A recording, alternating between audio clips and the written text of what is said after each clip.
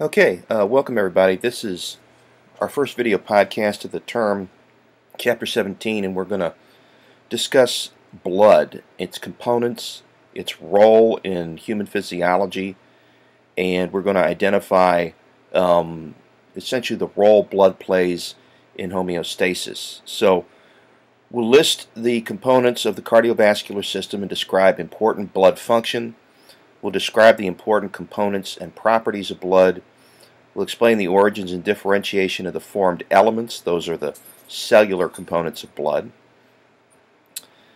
Um, basically, when we're talking about the cardiovascular system, um, we're talking about an important mechanism that the body has to deliver oxygen and nutrients to cells so that they can make enough energy to survive. What we have to understand is that over the course of evolution, life began in a relatively simple state in the form of single-celled organisms that um, essentially were able to absorb nutrients across their cell membrane and excrete waste uh, products back through that cell membrane and as a, as a result we didn't need a lot of modifications to cellular structure in order to carry those particular tasks out. Things were relatively simple. But what happened is the earth began to change and the environment um, began to uh, become in some places um, drier, in some places more acidic. Essentially, as variety began to be introduced into the ecosystem, um, life had to either adapt or die. And as a result, um, the evolution of the circulatory system provides a route to get nutrients and oxygen to cells so that they can make sufficient ATP in order to continue life processes. So the cardiovascular system consists of a pump, which is the heart, that propels blood and maintains blood pressure, which is simply the force that the fluid exerts against the walls of the vessels. Conducting tubes that we know as blood vessels. This is very important. Remember that arteries always carry blood away from the blood pump, the heart, and veins always carry blood back towards the heart. The capillaries are where um, most of the exchange takes place between the um, oxygen that's in the blood and the nutrients in the blood and the carbon dioxide and the waste products that are in the tissues. Okay, as a result, capillaries, as we're going to find out, are extremely delicate and um, perfectly designed for this exchange. However, one of the things that we have to appreciate is because they are so delicate, they're also very easily damaged. And so when we talk a little bit about um, conditions like hypertension, uh, we'll address some of that. The veins return the blood to the heart, and of course the fluid that they contain is the blood, which transports all kinds of stuff, um, nutrients, waste products, um, oxygen, carbon dioxide, hormones, a considerable amount of water and electrolytes, um, it assists in thermoregulation so that we can maintain a relatively constant body temperature. And it also helps us defend ourselves against disease um, in the form primarily of the leukocytes, the formed elements that we could think of as our disease defenders.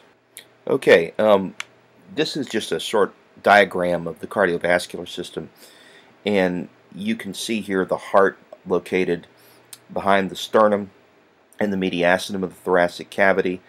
And you can see the uh, systemic veins, which are indicated here in blue, and the systemic arteries, which are indicated here in red. When we say systemic, what we mean is supplying all the body tissues with the exception of the uh, the lungs. Okay, the lungs have a very special um, circuit called the pulmonary circuit, uh, which we'll get to when we talk about circulatory patterns a little bit later on in the course. Um, remember again that the veins always carry blood back to the heart, the arteries always carry blood away from the heart, and that the capillaries are the areas of gas exchange and nutrient and waste exchange. And basically, if you look anywhere in the body, um, you're going to find capillaries near most active tissue, with a few exceptions. And then, of course, the blood is what's contained inside those vessels. Uh, it's made up of both formed elements, which are the cellular components of blood, which we'll discuss in just a moment, and also the plasma, which is the liquid component of blood. And then, of course, the heart, which is the main pump. This is how we drive the blood in one direction throughout the body. Okay, so what does blood allow to happen in human physiology? What um, what does blood regulate? Well, it's important for the transportation of dissolved gases, nutrients, hormones, and metabolic waste products. It carries oxygen from the lungs to the peripheral tissues and carries carbon dioxide from the tissues to the lungs. And it also distributes nutrients from the digestive tract or from storage in adipose tissue or in the liver. It also carries chemical signals called hormones from the gland that secretes them, which we call endocrine glands, to their targets, which are defined by the presence of a receptor for that particular chemical. It also carries waste to the kidneys for excretion, and as a result, we can we can appreciate now um, the importance of blood, right? Back to our discussion of you know the change in life, right? As as as the Earth became um, more complex, as environments began to change, we had to adapt to these changing conditions or die. And the result, it was an evolution from single-celled organisms to multicellular organisms. What happened as a result is that the more complicated the organism became, um, the more capable it was of adapting to the environment around it because what happened over time is that as we went from unicellular to multicellular life forms, um, different cells took on different specialized roles. They were very good at those roles, and as a result, the interdependence of these cells on each other formed the, the, the structural basis for the multicellular organism. Um, but again, we have a logistical problem, right? As the organism becomes more complex, more cellular, a lot of those cells are going to be far removed from the source of oxygen and from the source of food. And so, unless we um, generate a delivery system to get oxygen and nutrients to these cells, those cells are going to die. And so, that's the basis for the evolution of the circulatory system. And we can see here as a result of the, the job description of blood, how important this system is to our survival. What else does blood do for us? It helps regulate um, the pH and the ion composition of interstitial fluid. Remember, the interstitial fluid is the fluid between cells. It absorbs and neutralizes acids generated by active tissue in the form of um, organic acids and carbon dioxide. It forms carbonic acid when it dissolves in water. Um, it also mediates um, diffusion between the blood and the interstitial fluid that allows us to balance ion concentration inside and outside the cell. It also restricts fluid loss at sites of injury because enzymes that initiate clotting will respond to damage to the vessel wall to form essentially a, a temporary block between where the injury is and the blood that's flowing through those vessels so that you don't hemorrhage okay and the result then eventually is that uh, once we seal off the break um, we can affect um, tissue repair and regeneration and then eventually what will happen is that the blood clot will be dissolved and um, normal tissue function will be restored. The blood clot, again, is a temporary patch. Other functions of blood. It's a defense against toxins and pathogens. The white blood cells, known as the leukocytes, are transported by the blood and they migrate into peripheral tissue where they fight infection. Antibodies, which are produced by special types of leukocytes called B cells, are transported by the blood to the area of where the pathogen is located or where the infected tissue is located.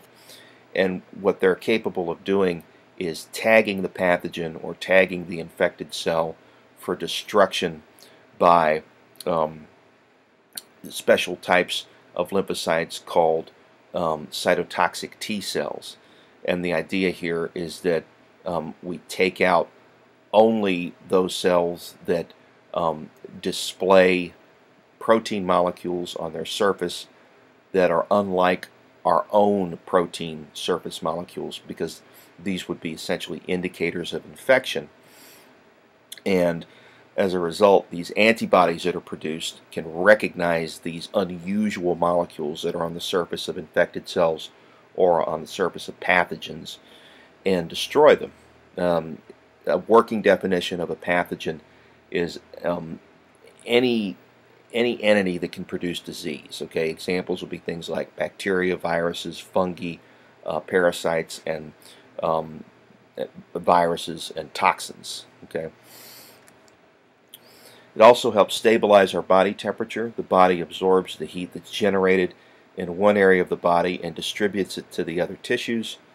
The blood flow is directed closer to the skin when the body temperature is high, and it's directed to the core when the body temperature is too low. Um, again, you've experienced this um, on a daily basis. If you've ever been outside on a hot day, what do you notice? You notice that your skin turns red and that you sweat. And the idea here is that um, as your body temperature is rising because the uh, outside temperature is high, uh, what happens is that we have vasodilation of the capillaries near the skin surface that brings blood to the surface as we sweat. The sweat dries. As the sweat dries, it cools the skin, and as the skin cools, it cools the blood, and then that drops our temperature back down to normal. Okay, now, when we are describing all these different roles of blood, it's obvious that there are going to have to be many factors uh, that contribute to blood's ability to carry out all of these different tasks. And so what we want to do now is delve into some of the components that make up blood. It is a fluid connective tissue. Now remember from ANP1 that a connective tissue is defined primarily as a tissue with very few cells and a lot of extracellular matrix. And in the case of blood, the extracellular matrix is the plasma. And it's primarily the extracellular matrix in connective tissue that defines its job. In blood, um, its job is defined both by the formed elements, the cellular component, and the liquid. It consists of plasma, which is the liquid matrix, and the formed elements, which are the cells and the cell fragments the amount of blood in an adult human is going to vary between males and females. It's between 5 to 6 liters in males and only between 4 and 5 liters in females, and these differences are due in part to differences in average body size, but also due to the production of a hormone in males known as testosterone, which has a variety of effects. Um, we could list them here. It's probably a good idea to do that. Uh, let's go ahead and pick a color and we'll go here with red since we're talking about blood and so if we if we chalk these effects up to testosterone testosterone which remember uh, is made testosterone is made by the testes and the adrenal cortex in males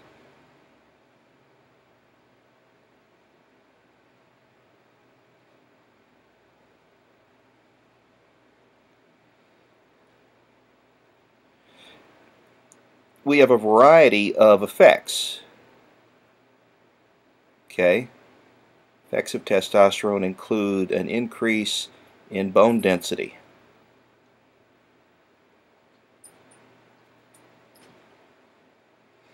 An increase in hematocrit.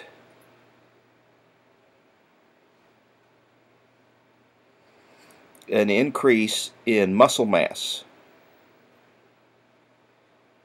And here we're primarily talking about skeletal muscle,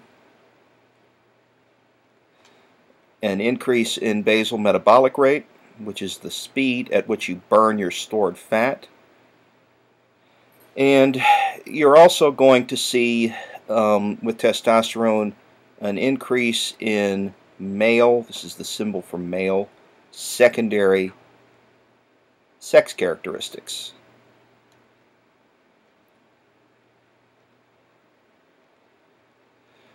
Both men and women make testosterone. It's just that we have to appreciate in men that the testosterone levels are generally higher than they are in women, um, and this is responsible then for a lot of the morphological differences that we see between men and women.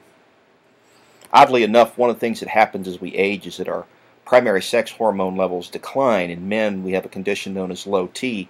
In women, uh, after menopause, we have a, a dramatic drop off in the production of estrogen and progesterone. And the countervailing hormone tends to um, take precedence. In males, we tend to see um, effects of estrogen and progesterone. In females, we tend to see effects of residual um, residual uh, testosterone. So one of the things that we see in men as they age with this condition we now know as low T um, is a drop in hematocrit, a drop in um, bone density, a reduction in lean muscle mass, an increase in body fat.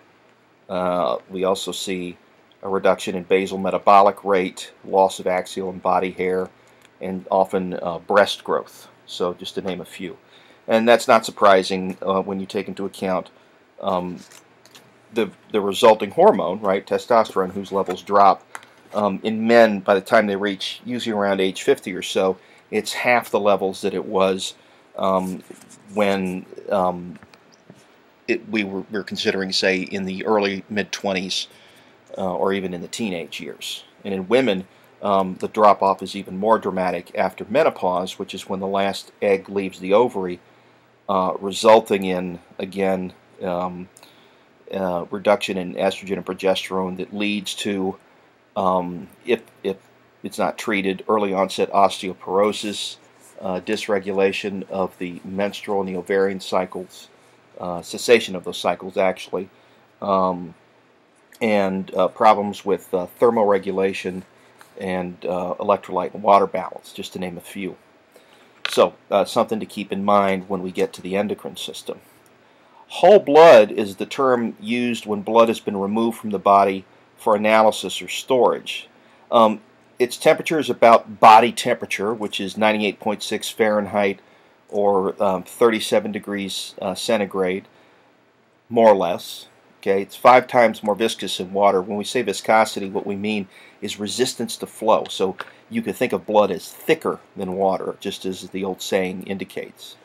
And this is due to interactions of dissolved proteins in the plasma and the formed elements that are in the plasma and uh, their association with water molecules. And this tends to um, cause associations that are harder to break when force is applied to the liquid. And so it resists flow more so than just pure water would. Uh, it's slightly alkaline, has a pH between 7.35 and 7.45, averaging around 7.4. Uh, we can separate whole blood by spinning it into a centrifuge, and when we do that, um, generally what we do is we would draw the blood in a tiny uh, glass tube called a capillary tube, and what will happen when we stick your finger and you make a little tiny droplet of blood is that when you touch this hollow tube to the blood, because the glass is made up of um, silicon dioxide, which is a polar compound, the blood, the liquid component of the blood, is attracted to it, and this tends to pull it up the tube without a lot of extra added effort. We'll then cap the tube at both ends with clay and spin it in the centrifuge and separate the formed elements from the plasma. The plasma is about 55% of the volume of whole blood, um, and it'll have a range of, of, values depending again on various conditions, but average 55%. And then the remaining um, cell volume is the other 45%. Okay, this is what we call the hematocrit or the packed cell volume, and it refers to the percentage of whole blood contributed by the formed elements 99 percent of which are red blood cells, which we know more commonly as erythrocytes. Let's write that down so that we don't forget it. Okay, erythrocyte or RBC, basically the same thing. Okay, so we'll indicate here what we're referring to, RBC. The prefix erythro, in case you're wondering, means red, and cyte means cell. So erythrocyte.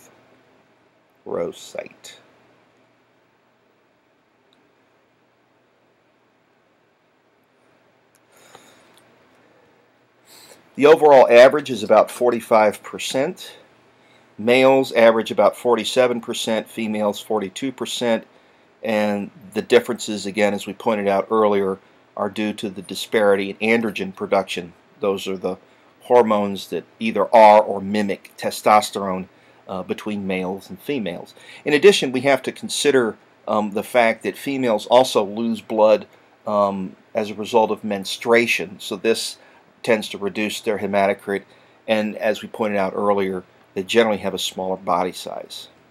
And so this is just a breakdown of what happens to whole blood when we spin it in a centrifuge. You can see that um, the 55% of which is plasma is made up of mostly water, and then the remaining 6%, uh, remaining 8%, is broken down into electrolytes and organic compounds, and then the plasma proteins, albumins, globulin, fibrinogen, and variety of enzymes and hormones. Now you might ask, okay, well, what are all these for? The albumin has as its primary task to make sure that we maintain blood volume. And it does so by exerting an osmotic effect on the fluid that surrounds the blood vessels, drawing water into the circulation and increasing blood volume and blood pressure. Albumin is made by the liver um, and is put into the blood routinely. When we experience liver failure or when we have a protein poor diet, one of the things that can happen if this goes on for an extended period is a reduction in albumin production resulting in a loss in blood volume and blood pressure. The fluid seeps into the tissues and they become swelled up, what we call edematous. And so what you'll tend to see is um, enlarged areas of the body. Um, the legs, the arms will swell up um, due to the accumulation of fluid. Uh, the abdomen will swell. It's a condition called ascites. And this is just a problem, again, with the blood generating enough osmotic pressure to pull the fluid from the surrounding tissue into the vessels. The globulins are primarily tasked either with transporting molecules through the plasma or defending against disease, depending on the type of globulin we're talking about. Immunoglobulins defend disease. There are other globulin proteins that transport lipid-soluble compounds in the blood, for instance. Fibrinogen is a precursor to the protein fibrin, which is the main component of blood clots. And so it exists in a soluble form until an injury event occurs, and then a cascade of chemical reactions serves to convert the fibrinogen into insoluble fibrin through primarily enzymatic cleavage. And then enzymes and hormones. Hormones are chemical signals that are carried throughout the body um, in order to elicit a response from a target tissue. And enzymes generate chemical reactions. They facilitate them so that they occur with a much greater speed. One of the main enzymes um, that uh, you'll find in um, blood is an enzyme called carbonic anhydrase, okay, which uh, converts carbon dioxide and water into bicarbonate. It's highly concentrated inside RBCs. Um, you also find some of it in plasma as well. There are other hormones um, that we should note, or other enzymes we should note, kinases, which facilitate the clotting cascade, um, and other hormones as well or enzymes rather. Okay, um, other solutes, electrolytes are important. These are charged particles. Uh, examples of electrolytes you might find in blood include things like sodium and potassium, calcium, um, just to name a few. You'll also find chloride, magnesium, uh, bicarbonate. Okay, organic nutrients would be things like amino acids and um, carbohydrates and also to some extent um, you're going to find uh, fatty acids primarily in the context of the lipoproteins in the blood, those being uh, things like chylomicrons and low and high density lipoproteins and so on. And we'll get to that when we talk about digestion a little bit later on in the course. And organic waste products are primarily carbon dioxide and organic acids that are the result of metabolism, which is essentially the oxidation of molecules like carbohydrates and amino acids and fatty acids with the idea that we can extract energy from them to make ATP and then get rid of the byproducts. And so, um, again, you could think of the blood in, in this in this sense as a garbage removal service for the body as well as a pizza delivery service, right? It drops off goodies for fuel and it also removes garbage that we don't want to accumulate around the cells or else they'd get sick and die, okay? In addition to that, also keep in mind that um, there's a considerable amount of gases transported in the blood. Nitrogen, which is biologically inert, um, but uh, carbon dioxide, which is produced as a result of uh, metabolism, is carried in the plasma as bicarbonate. There's a small degree of dissolved oxygen in the plasma. Most of the oxygen carried in blood, as we're going to find out in a minute, is carried in the erythrocytes. Okay, and then if we look at the other 45% of whole blood after we spin it, the formed elements are made up of the platelets, which facilitate blood clotting, the white blood cells, which defend against disease, and these can be broken up into what we call granulocytes, which have visibly staining granules in their cytoplasm, and agranulocytes, which, which lack visibly staining granules. And then finally, the red blood cells, or erythrocytes, whose basic job is to carry oxygen around the body and to a lesser extent carbon dioxide. Um, they also aid in the maintenance of the body's pH. So the composition of plasma resembles interstitial fluid. It exists um, because of continuous exchange of water, ions, and small molecules across the capillary walls, which are very, very thin. Okay, Just a simple layer of endothelial cells and a tiny bit of um, connective tissue matrix, which are basically the, components of the capillaries. 92% of it is water, 7% plasma proteins, 1% other solutes. The primary differences between the plasma and the interstitial fluid are the levels of respiratory gases. Um, you're going to find carbon dioxide um, much higher in the interstitial fluid uh, and oxygen much lower because oxygen is being consumed and carbon dioxide is being generated. It's going to be flipped when you're looking at the blood that's coming to the tissues um, via the arteries and the capillaries. The concentrations of dissolved proteins are also different between interstitial fluid and the plasma, particularly the large proteins which cannot cross the capillary walls. They tend to be locked into the plasma. And again, as we pointed out, that's what's responsible primarily for maintaining the uh, blood pressure and the blood volume. Plasma proteins tend to stay in solution rather than as insoluble uh, fibers like in other connective tissue. Each has about 100 milliliters. Each 100 milliliters of plasma has about 7.6 grams of protein.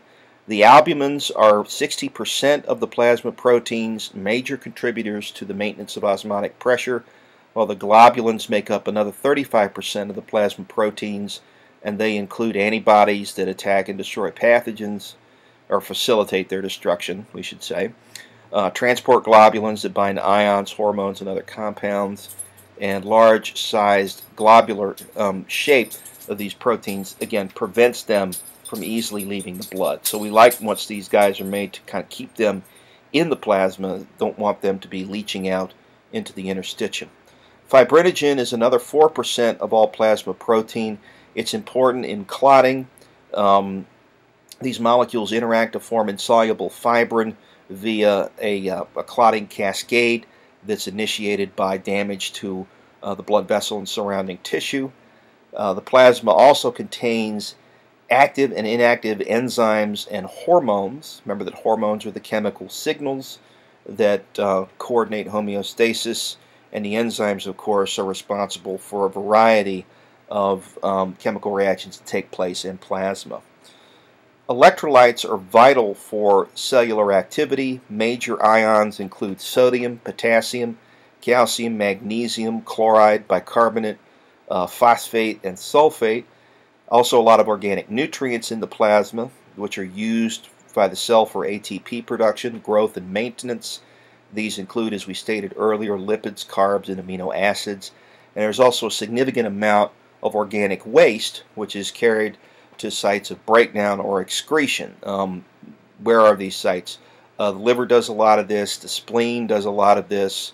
Um, excretion uh, is one of the major purviews of the kidney, the excretory system that cleans the blood of nitrogenous waste um, and regulates our electrolyte balance and our pH and our blood pressure and blood volume. Um, also, uh, other sites of excretion occur, uh, of course, in the digestive system uh, through cutaneous transpiration uh, and through sweat, uh, and of course, via the respiratory system. Okay, all, all points where we can excrete uh, waste products. Examples of these waste products include urea, uric acid, creatine, bilirubin, and ammonium. Most of these, as you'll see, are nitrogen containing compounds, and the reason that we worry about nitrogen containing compounds to a significant extent is because they tend to be organic bases, and presence of a base in a solution tends to elevate the pH. And if the pH of the interstitial fluid or the blood plasma gets too high, um, what would happen is denaturation of proteins, a cessation of chemical reactions triggered by enzymes, uh, a loss of structural protein integrity, um, and in addition, a perturbation of membrane potential. All of these could chalk up to death for the cell. And if the cells die, the tissues die. If the tissues die, the organs die. And if the organs die, the organ system shut down. And then that's the end of you. Okay. The formed elements uh, made up of the platelets, which account for less than 0.1% of the total formed elements. These are small membrane-bound cell fragments that aid in clotting. The white cells known as leukocytes, which account for 0.1% of the formed elements, and they participate in defense against pathogens. There are five classes, each with a slightly different function. We'll delve into those a little bit more later. And then the red cells, known as erythrocytes, that account for over 99% of the formed elements, and they're essential primarily for oxygen transport in blood and to a lesser extent carbon dioxide transport and the maintenance of blood pH. Okay, so where do these formed elements come from? And the answer is bone marrow. Okay, um, and where is red bone marrow? Well, these are sites of hematopoiesis. Primarily, we're talking here about the flat bones of the body uh, the, the bones of the cranium, uh, the ribs, uh, the bones of the pelvic girdle. Okay. Um, in addition, uh, we find hematopoietic tissue in the heads of the femur uh, and the humerus. And um, hematopoiesis, of course, is critical because one of the things we note about the formed elements, especially the thrombocytes and the erythrocytes, is that they do not have a nucleus and they have limited biosynthetic capability. So after about two and a half trips through the circulatory system, they're ruined and they have to be recycled and replaced. And so this is why uh, we need hematopoiesis to go on almost every day. Okay, All formed elements uh, form from hematopoietic stem cells known as hemocytoblasts. These are self-renewing multipotent stem cells that can produce more than one cell type.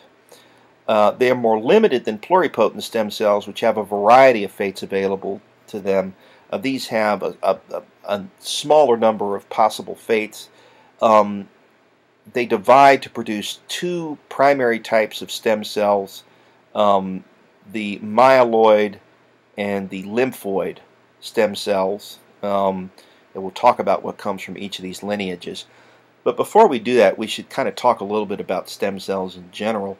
And we should point out the fact that what defines a cell as a stem cell is the ability of that cell to use the information in the nucleus to to engage in any number of potential fates, meaning um, to become any potential type of adult uh, cell, be it a, a, a, skin cell, a muscle cell, a nerve cell, a, uh, a red blood cell, and so on. Okay, we call those totipotent stem cells, and there's really only two sources: um, cord blood, which is found um, in, in the placenta and in the umbilicus and in, of course, the, uh, the, the blastocyst and the morula. Okay, What happens as we develop from this initial state of fertilization um, to the final product, which is, of course, a neonate in this case, is that the information in the nucleus becomes more and more restricted over time, and that causes the cell to lose the ability to adapt certain cell fates. Eventually, it gets steered down one avenue and becomes one type of tissue, and at that point, it carries out its job in the organism. An important thing to understand, however, about stem cells is that when they divide, um, they sort of break the rule of mitosis that states that after a cell gets to a certain size and divides, the two cells that are produced look and act exactly like the original. In a stem cell, um, we break this rule, and when the cell divides, one cell will remain behind as a stem cell, and the other cell will differentiate and become the adult cell. So if we imagine that this is the stem cell in the human body, and then we divide, one cell will grow up, uh, and the other product of that cell division will stay behind and remain a stem cell. So we'll call this a stem cell SC, okay? And this is a differentiated cell, okay? DC, okay?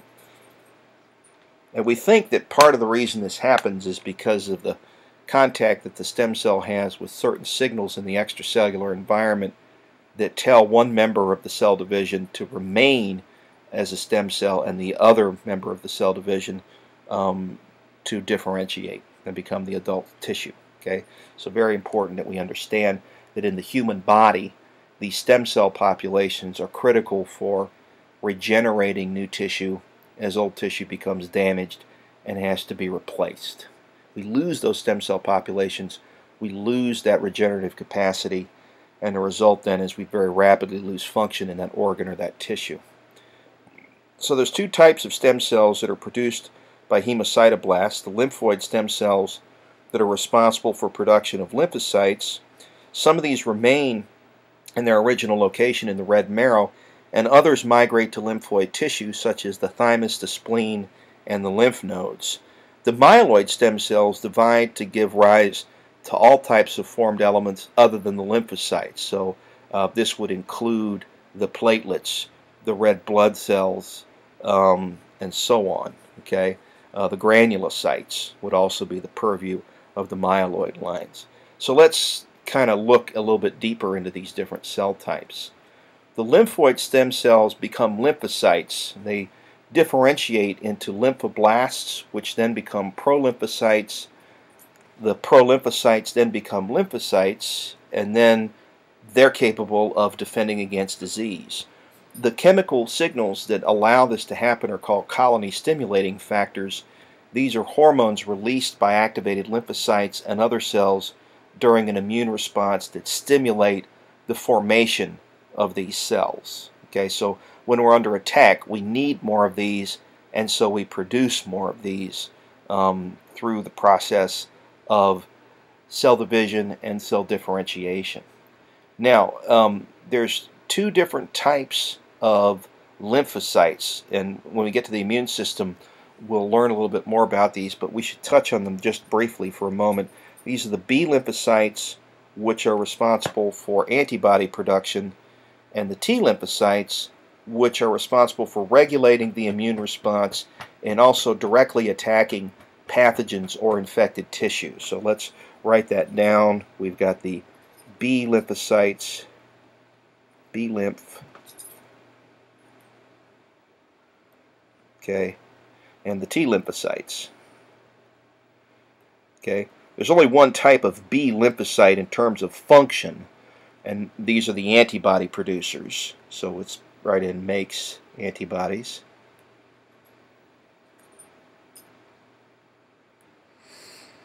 The T lymphocytes can be divided into the helper Ts, we'll write help.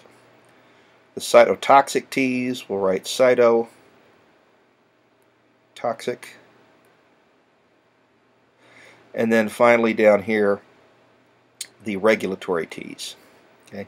Now what do each of these do? Well, the helper Ts basically stimulate the immune response when we're under attack so that we produce an army of cytotoxic T and B cells that are designed to attack that particular pathogen and destroy it.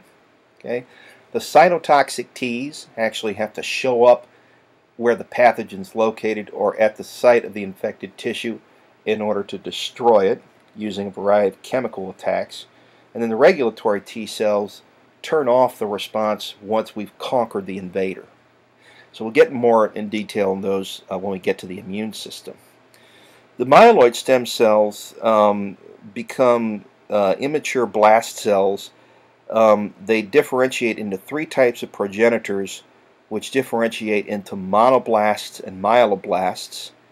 These differentiate into megakaryocytes, which are large cells um, that break off portions of their cytoplasm, and this is what produces now the thrombocytes, those cells that are responsible for mediating the blood clotting um, response.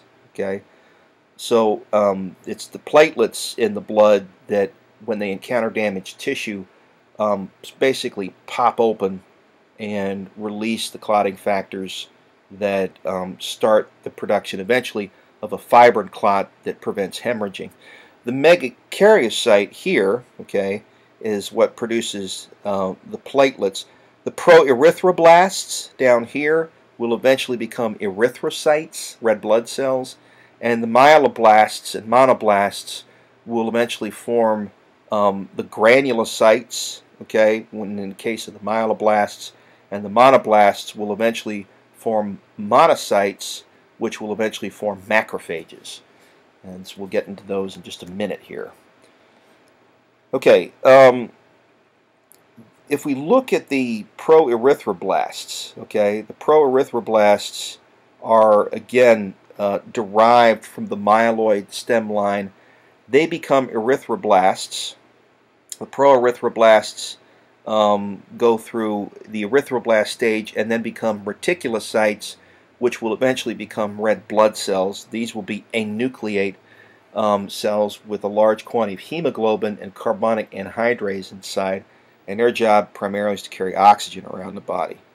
Um, if we look up here at the myeloblasts, we see that they form myelocytes which will generate these band cells, and these band cells essentially are the different granulocytes, right? We've got the erythrocytes, the basophils, and the neutrophils here um, these, that are derived from these band cells, and they each have a slightly different role in the immune system. Um, the the the basophils are filled with uh, blue staining granules that contain histamine. They mediate the inflammatory response. The uh, the um, eosinophils, these guys here, have red granules. They're responsible for defending against parasitic attacks and also are important in the mediation of the allergic reaction. And then the neutrophils are primarily there to attack and destroy bacterial infection. The promonocytes will become monocytes, which will eventually become um, mono, uh, become um, macrophages. And the macrophage job is to eat dead or infected material um, or pathogens and then display fragments of those infected cells or those pathogens to warn the immune system that there is um, an agent in the body that's trying to cause disease, a pathogen of some type. And it's through the interaction of the macrophages with the lymphocytes that we select those particular B and T lymphocytes that are going to best defend us against this particular pathogenic attack. Okay. Okay, uh, one of the ways we control the production of the formed elements is through a hormone called erythropoietin, which is produced by the kidneys um, in response to low oxygen levels, a condition known as hypoxia. The erythropoietin stimulates stem cells and developing RBCs in the red marrow. Um, conditions that stimulate its release include anemia, a drop in blood flow to the kidneys, drop in oxygen content in the lungs, that can result from disease or high altitudes and damage to the respiratory surface of the lungs. All of these result in a low oxygen condition. We solve the low oxygen condition by increasing the oxygen carrying capacity of the blood by jacking up the erythrocyte content. Okay, promonocytes become monocytes. Um, the three types of band cells that form, again, from the myeloid line um, give rise to the neutrophils, the eosinophils, and the basophils, as we stated earlier. You can see those here. The megakaryocytes will shed their cytoplasmic packets, forming the platelets, and the reticulocytes will di differentiate eventually into the erythrocytes. Okay, and so what you're looking at here is is the entire scheme. You can see if we look in the red marrow that you've got lots of venous sinuses. The red marrow is all around these uh, venous sinuses, and the hematopoietic stem cells reside in the red marrow, generating the lymphoid stem cells and the myeloid cells. The lymphoid cells producing, of course, the lymphocytes, um, the B and the T lymphocytes, and the myeloid lineage producing everything else. Okay, so you can see how the progenitors stimulated by CSFs um, will form um, either myeloblasts or monoblasts. The myeloblasts will eventually generate the granulocytes. The monoblasts will eventually generate monocytes, which will become macrophages. They can also become megakaryocytes under the proper set of conditions, which will shed platelets and they can also, under the proper um, influence of erythropoietin, form reticulocytes, which will generate the oxygen-carrying erythrocytes. Okay. Now, what's interesting about this whole process is that once we pass a certain developmental stage, we can't go back and adopt another fate. And the reason for that is that the information that's utilized to do that has been chemically sealed off in the nucleus of the cell, so it's no longer available to direct cellular activity. It's still present, but it's kind of like having a book in the library that exists in a locked room or a book that has all its pages pasted together. The information's still in the book, but you can't read it anymore. And this is on purpose. This is to direct cells down a certain fate um, in order for them to fulfill their, their destiny in the human body. Okay? Okay. Next thing we want to do is delve into a little more detail in terms of the structure and function of the different formed elements. So we'll define hematology and describe the elements of a complete blood count and give examples of red blood cell lab tests. We'll list the characteristics and functions of RBCs and describe the structure and function of hemoglobin. We'll describe how the components of aged or damaged red cells are recycled and will explain the importance of blood typing and the basis of the ABO and RH incompatibilities. We'll get into a clinical module where we'll talk about hemolytic disease of the newborn and explain the clinical significance of cross-reacting um, between fetal and maternal blood types and cite preventative measures. We'll categorize the various types of white cells and the basis of their structure and function. We'll talk about the mechanisms that control blood loss after an injury. This is a phenomenon known as hemostasis, and describe the reaction sequence for the blood for blood clotting, how it takes place. And we'll delve into a clinical module that will describe how blood disorders are detected and examples of different categories of blood disorders. So hematology, very simply, is the study of blood. It's the tissues that form blood and blood disorders, which we call dyscrasias. It provides an important set of information about the person's health. It can detect disorders like anemia, infection, and problems with clotting. Um, we call these conditions hemophilias. The reasons for performing blood tests is to determine the blood type and to evaluate your red and your white count and your platelet count. Abnormal values indicate usually a problem, some underlying disease condition that results in either having too many or too few or improper versions of each of these cell types. A CBC determines the red count, the white count, and the erythrocyte indices. This would be essentially a measurement of the hemoglobin content of the blood. Um, also determines the hematocrit, which is the volume of whole blood made up by the packed red cells, and the platelet count in one cubic millimeter of blood, okay, which would work out to a microliter. For those you are wondering uh, how much is a microliter, a microliter is 1 times 10 to the minus sixth meters. Okay, so let's write that down so that we know what we're talking about. Whenever you see this funny looking symbol here, that means micro, okay, and micro translates to 1 times 10 to the minus minus sixth of whatever we're talking about, okay, micro. We can also do a differential count to identify the types and the numbers of each white blood cell. Okay, and so these are some typical values for a CBC. Hematocrit around 42%, hemoglobin around 15 grams per deciliter, um, the MCH around 30 micrograms per uh, red blood cell, that's basically the hemoglobin measurement, uh, the mean cell volume about 90 cubic micrometers per cell, the platelet count about 350,000 per microliter. RBC count about 5.2 million per microliter. White count about 7,000 per microliter. And then you can see here the differential. Okay, now interesting thing about the differential is there's a mnemonic that you can use in order to remember these differentials. Okay, notice that the neutrophils are the most numerous, followed by the uh, lymphocytes, monocytes, eosinophils, and basophils. So what's a, a good way to remember uh, the order in which these appear in normal blood? And it's to use the mnemonic, never let monkeys eat bananas. Okay, so let's write that down.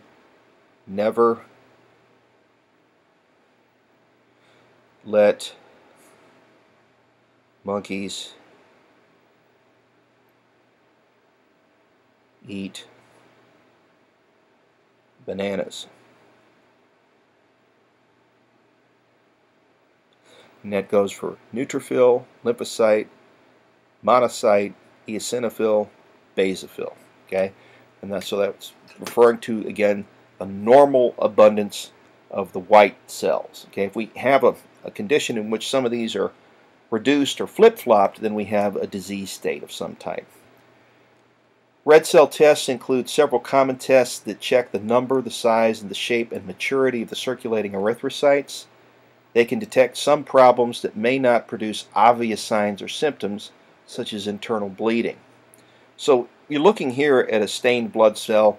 The big purple discs are the erythrocytes, and then the little things that look like little specks of purple dirt, uh, you can see some here and here. Those are platelets. Okay. Red cells are roughly a third of all the cells in the human body. A single drop of blood contains about 260 million red cells. Average adult has about 25 trillion total. The red count is a standard blood test, red cell count. It reports the number of red blood cells per microliter or cubic millimeter of blood. These are two interchangeable um, measurements of volume. Adult males have between 4.5 to 6.3 million red blood cells per microliter, and the adult females between 4.2 and 5.5 million. Okay, and again, this is due to differences primarily in testosterone levels, as well as, as we noted earlier, the fact that women menstruate, men do not, and the fact that women are smaller and men tend to be larger on average. This is a look, close-up look at a red blood cell. It is basically shaped like a frisbee. It's a biconcave disc, has a thin central region and a thick rim. Average diameter is about 8 micrometers. It does not have a nucleus, so we say it's anucleate, and it lacks most other organelles, including ribosomes. It can't divide or repair itself, and that's why it can only make about two and a half trips through the circulatory system before it has to be recycled. It has a lifespan of less than 120 days. Okay, so if you figure there's 30 days in a month, you're talking about four months on average. Now, you might say, well, why does it look so strange? Why is it such a weird looking cell?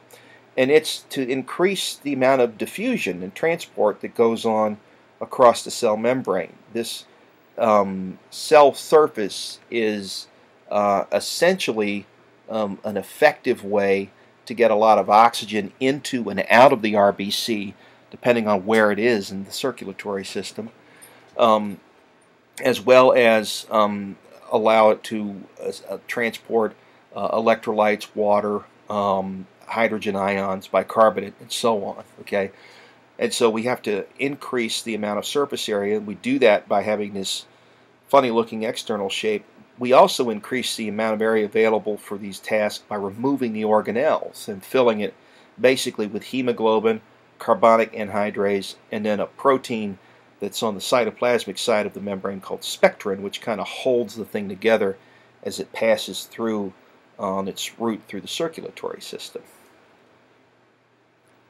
They have a large surface area to volume ratio, which allows for greater uh, chance for oxygen exchange. The total surface area of all red blood cells in the, in the blood is about 3.8 square kilometers. Okay, It can form stacks, which we call rouleaux, that facilitate transport through small vessels like capillaries. You can see some rouleaux up here in this diagram. And they're very flexible. They can bend. This allows movement through capillaries with diameters less than the red blood cell diameter. And these can be as narrow as 4 micrometers. And you might think, okay, well that's kind of cool, but on the other side of this problem is the fact that when these red blood cells are squeezing through these narrow vessels and rubbing against the sides of the capillaries, they're damaging themselves. And so um, after about four months of doing this, um, the damage to them is so great that they have to be recycled and replaced. And the place that this happens primarily is the spleen and the liver. Okay, Their job is to get rid of the old RBCs and to produce now fresh RBCs, um, well, to allow the fresh RBCs made by the red marrow to take the place of the damaged ones. Okay. Okay, next thing we want to do is take a little bit deeper look at the structure of red blood cells. These are the erythrocytes. And what we find if we open a red blood cell up primarily is hemoglobin, which is a pigment designed specifically to transport oxygen in the body. It also binds to carbon dioxide to a lesser extent, and as we'll see in a bit, um, this is actually a very important aspect of the gas transport properties of hemoglobin because what we'll find out is that as oxygen competes for its binding sites on the hemoglobin molecule, it tends to force the bound carbon dioxide out of hemoglobin and vice versa. As carbon dioxide competes for its sites on hemoglobin, it tends to force out the oxygen that the hemoglobin is bound to. This is an allosteric interaction, um, but it plays a very important role in allowing hemoglobin to dump off its oxygen when it arrives at metabolically active tissue and to pick up oxygen when it's in the, uh, the lung tissue. So its major function is the transport of respiratory gases. Um, hemoglobin is the major molecule. It's 95% of the intracellular protein in erythrocytes, uh, and its content is reported in grams of hemoglobin per deciliter of whole blood. The adult male range is between 14 to 18 grams per deciliter, while females slightly less at between 12 to 16. Now, if we examine the hemoglobin structure, we find that it has quaternary structure, meaning that there are separate polypeptide chains that make up the structure of the overall molecule, two alpha chains and two beta chains. And they're each complexed with a heme molecule, which is an unusual looking porphyrin derivative that has a structure somewhat like a spider's web, comprised primarily of carbon, nitrogen, and hydrogen. And in the center of this heme is a molecule of iron, and this is where the oxygen actually attaches in the hemoglobin molecule. So you can see the heme molecule situated here, here, here, and here. So there's four heme molecules per hemoglobin molecule.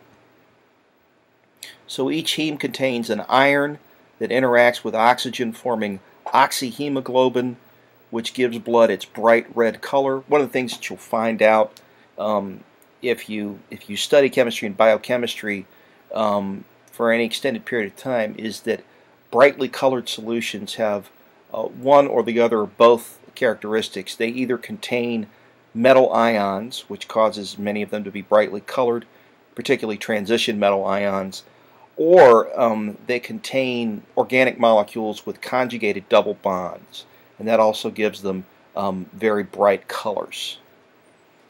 So the binding of the iron to the oxygen is a reversible process. Hemoglobin not bound to oxygen is called deoxyhemoglobin, and it gives deoxygenated blood a dark red color, which looks blue when you observe it through the walls of veins in the systemic circulation and through the walls of arteries in the pulmonary circulation. Each red blood cell has about 280 million hemoglobin molecules which contain four heme units, so each red blood cell can carry more than a billion oxygen molecules. Over 98% of the oxygen carried by the blood is bound to hemoglobin. The rest, which is a very small amount, is dissolved in plasma. Now, what what do we see when we look at the lifespan of a red blood cell? Where does it come from? What does it do? And then where does it go once it's outlived its usefulness? About 1% of circulating red cells are replaced daily, with about 3 million new erythrocytes entering the circulation per second. Rapid replacement is necessary because these red cells only last four months. Red, red cells are generally engulfed by macrophages in the spleen once they reach the end of their useful life. They're also recycled in the liver or bone marrow, uh, again, once they're no longer functional cells. Blood cell formation occurs only in the red marrow uh, as a result of the process of erythropoiesis that takes place in the myeloid tissue. And again, to reiterate, this red marrow is found in the flat bones of the skeletal system, uh, the, also in the vertebrae and um, in the proximal limb bones. Okay, so um, if you've ever seen an advertisement for um, a bone marrow donation, one of the things that they'll do is um, they'll give you a, a, topical anesthetic and then they'll take a needle that has a very wide bore and they'll insert it through your hip into the crest of the ilium to withdraw some of this red marrow um, for study. Now, they'll pay you quite a bit of money for this, um, between $500 to $1,000, but um, honestly, many people think it's not really worth the, uh, the, the, cost because it's extremely painful. They're essentially giving you uh, the equivalent of a hip pointer. Fatty marrow can replace the red marrow in long bones as we age, um, and vice versa. Um, we can convert fatty marrow into red marrow if we have severe sustained hemorrhaging. Um, in the beginning, when the skeletal system is first formed, in the neonate, we have red marrow in virtually every bone in the body, but over time, what happens is that the yellow marrow begins to predominate in the long bones of the appendicular skeleton and is only retained as red marrow in the heads of things like the the, uh, the humerus and the femur. Um, by the process of converting this yellow marrow into red marrow, we increase the rate of erythropoiesis and we fill the void produced by um, the event that resulted in the hemorrhaging or the blood loss whatever it may be. Okay. Developing red cells absorb amino acids and iron from the blood and they synthesize hemoglobin. Red cells go through the following developmental stages. We go from myeloid stem cells to proerythroblasts to basophilic erythroblasts, which synthesize hemoglobin, to normoblasts, which eject their nucleus and cellular organelles and transform into a reticulocyte, um, which will contain about 80% of the hemoglobin of a mature red cell, enters the bloodstream after about two days, and after 24 hours is converted into a mature red cell. And you can see the entire process here. Okay, the developing red cells absorb their um, building blocks from the bloodstream and then they synthesize the new hemoglobin molecules, and we can see the progression here over the succeeding four days um, from proerythroblast to reticulocyte and then ultimately to erythrocyte. So this is just a quick video that will give you an overview of how hemoglobin is produced and recycled in the body. So take a listen.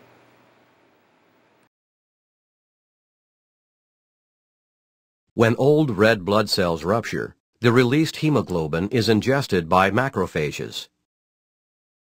The globin chains of hemoglobin are broken down to individual amino acids that are metabolized or used to build new proteins. Iron is released from the heme of hemoglobin. The remaining structure is converted to biliverdin, which is then converted into bilirubin. Iron is transported by transferrin in the blood to various tissues for storage, or to red bone marrow for making new hemoglobin.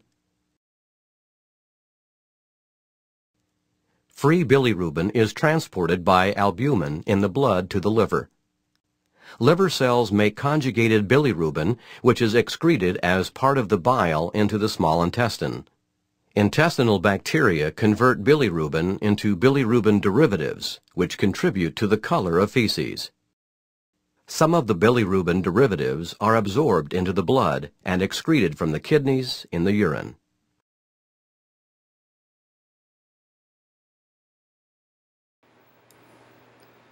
Okay, another very important um, aspect of the circulatory system that we have to touch on is this idea of blood types. Now, all blood is functionally the same in that it carries gases, oxygen, carbon dioxide, nitrogen, and so forth. Um, it carries nutrients and waste products. It carries electrolytes and hormones and enzymes. Um, and it contains um, also a considerable amount of proteins, albumin, the globulins, and so on. So all blood is functionally identical. But if we look a little bit more detail at the formed elements of blood, um, what we find are differences at the molecular level that are important to distinguish uh, one person's blood from the other. And one of the ways that we distinguish um, differences between these different um, molecules on the surfaces of red blood cells is to um, engage in what we call blood typing. And what blood typing examines are the presence of specific sugars or other molecules on the surfaces of red blood cells that distinguish them antigenically from functionally identical but eh, but but molecularly different um, antigenically uh, erythrocytes. Okay, so you could think of these blood mo these molecules that we use for blood typing as a, um, a, method of identifying the cells as belonging to that individual. Okay, as tagging the cell um, for um, either destruction or for um, for recognition of by the immune system as to whether or not it belongs in your body or not. Okay, so these blood types are determined by the presence or the absence of cell surface markers that we call antigens. These are genetically determined membrane glycoproteins or glycolipids, and they can trigger a protective defense mechanism um, if we have a mismatch between um, the blood that's coming in and the individual's immune system. This immune response can result in the destruction of the incoming red blood cells. They're meant to identify the blood cells as self or foreign to the immune system. If they're identified as self red blood cells, then the immune system will not target these cells for destruction. If they're identified as foreign, then the immune system will um, engage in a series of processes designed to destroy these erythrocytes. There are more than 50 blood cell surface antigens that exist but three are critically important in the process of blood typing, and these are A, B, or the Rh antigen, sometimes known as D. So this is a look at um, how these antigens work. Um, so take a listen to uh, this quick discussion of cytotoxic hypersensitivity. Type 2 hypersensitivities involve interactions of antibodies and surface antigens of cells, followed by complement-assisted lysis of these cells. A typical example is mismatched blood transfusions. There are four different blood groups based on types of antigens on the surfaces of the red blood cells. People who are type A have A antigens, and those who are type B have B antigens on the surfaces of their red blood cells. Persons who are type AB have both A and B antigens, and those who are type O have neither A nor B antigens. The serum of people with type A blood contains antibodies against type B antigens, and the serum of people with type B blood contains antibodies against type A antigens. Type AB serum contains neither antibody, and O serum contains antibodies against both A and B antigens. If blood from a person who is type B is transfused into a person who is type A, antibodies present in the type A blood react with the surface antigens on the incoming red blood cells. This leads to complement fixation and lysis of these cells. If blood from a person who is type A is transfused into a person who is type B, antibodies present in the type B blood react with the surface antigens on the incoming red blood cells. This also leads to complement fixation and cell lysis. Persons who are type O lack A and B antigens on the surfaces of their red blood cells and are therefore universal donors. Persons with type AB blood lack antibodies against A or B antigens and are therefore universal recipients.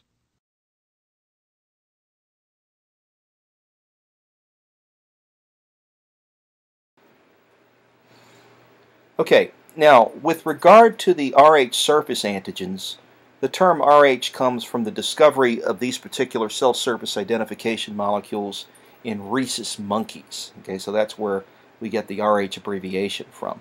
An individual who's Rh positive has the D surface antigen on the surface of their erythrocytes, while an Rh negative individual would lack that surface antigen. So we indicate that those individuals either have blood type plus or minus with regard to the Rh antigens.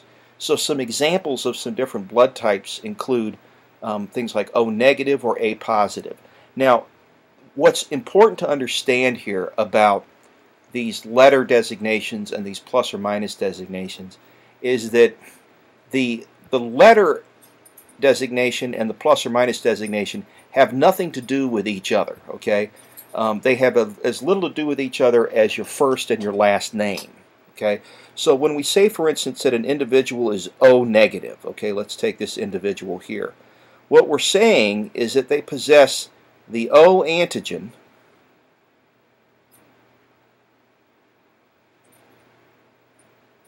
and they lack the Rh antigen.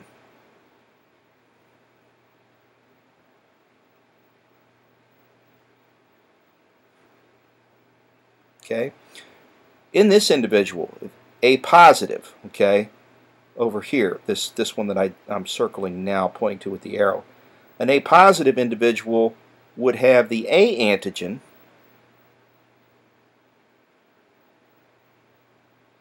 and would also have the Rh antigen.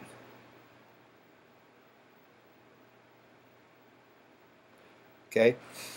If an individual were A negative, okay, they would have the A antigen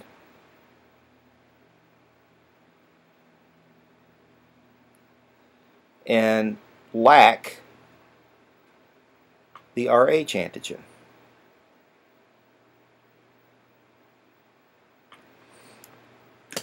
So this is a little chart showing you how it is we go about typing an individual's blood so that we can give them a, a, transfusion that won't be rejected by the immune system. Drops of the patient's blood are mixed with solutions that contain antibodies to the surface antigens A, B, and D. Remember that D is the Rh antigen. Clumping occurs when the sample containing the corresponding antigen um, reacts with the antibody and forms a cluster of red blood cells surrounded by plasma. Okay, as an example, type A blood will clump with the anti-A antibody um, and will fail to clump with the anti-B antibody. Type B blood will clump with the anti-B antibody and not with the anti-A, and type O blood won't clump with either antibody. What do you mean by clumping? Well, let me show you um, what clumping looks like. So um, here we have an individual who is B positive, which means they have the B antigen and they also have the Rh antigen. So we look here with the anti-A antibody, we don't see any clumping because the anti-A antibody is only going to react with the A antigen. However, with the anti-B antibody, we see clumping. Notice the little red blotches in the middle of the serum. And also, we see clumping with the Rh antibody. Okay. Um, down here, O negative. Okay, will not clump with either the anti-A or anti-B antibody or the Rh antibody because they lack all three of those antigens. AB positive has all three antigens, has the A antigen, the B antigen, and the Rh antigen, and as a result they clump in all three tests. Okay. The point of this is to determine an individual's blood type so that we can give them the proper blood so the immune system won't hemolyze and destroy the incoming donor cells. As an example, okay, if we had somebody with A positive blood, an individual with A positive blood would contain antibodies against the B antigen, but would not contain antibodies against any other antigen. So they would be able to receive blood from an A positive individual, an O positive individual, or an O negative individual.